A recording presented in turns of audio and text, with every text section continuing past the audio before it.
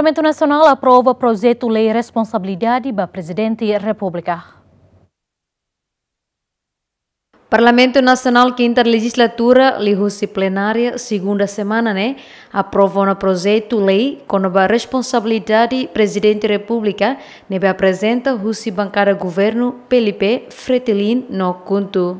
Projeto lei né passa a plenária o voto a favor tolo nulo recém lima contra Ronald Resinhat, no abstenção zero.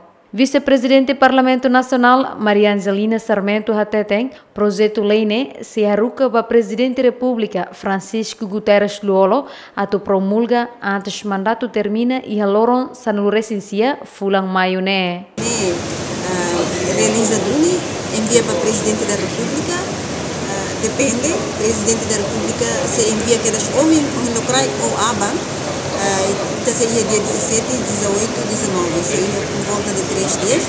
E está completa e tem regime jurídico sim. E tem uh, regime jurídico seria Timor-Leste uh, e a quinta legislatura, né?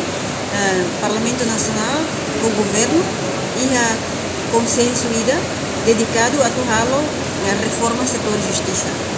Então, parte ida muito reforma setor justiça, mas ela alteração da lei Siranebe depois de entra em vigor mais de 10 anos, mas que daré lá dunha uma relevância, lá dunha atualização ou mudança ou dinâmica política ou endoromia. Então, lei Sirne sujeita a alteração, alteração. E também ser lei do Bukida, mas sujeita a alteração.